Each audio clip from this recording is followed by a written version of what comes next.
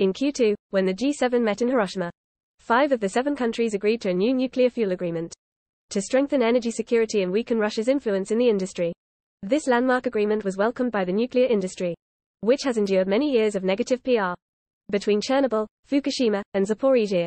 Despite these mostly isolated incidents, nuclear energy remains the most reliable energy source in the world, according to the Department of Energy. The other barrier inhibiting the growth of nuclear energy usage is the high upfront costs of construction. However, as a workaround, a number of companies have begun exploring a new type of power plant called small modular reactors, or SMRs for short.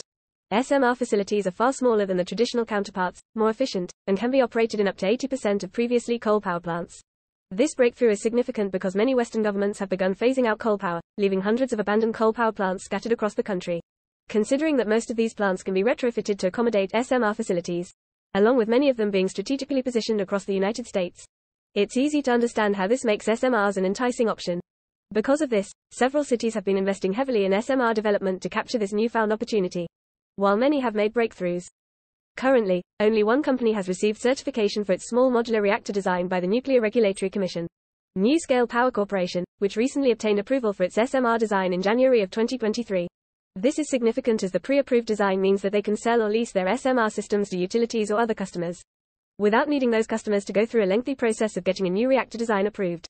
It seems as if this design is already garnering attention. Nucor is one of the top steel producers in the world and has signed a memorandum of understanding with NuScale Power to explore the deployment of NuScale's VOYGR small modular reactor power plants near Nucor steel mills.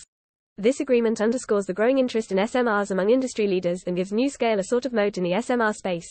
More recently, a project to deploy the first NuScale VOYGR-6 nuclear power plant in Romania by 2029 has garnered a $275 million public-private funding commitment from the US, Japan, South Korea, and the United Arab Emirates as part of a global infrastructure partnership.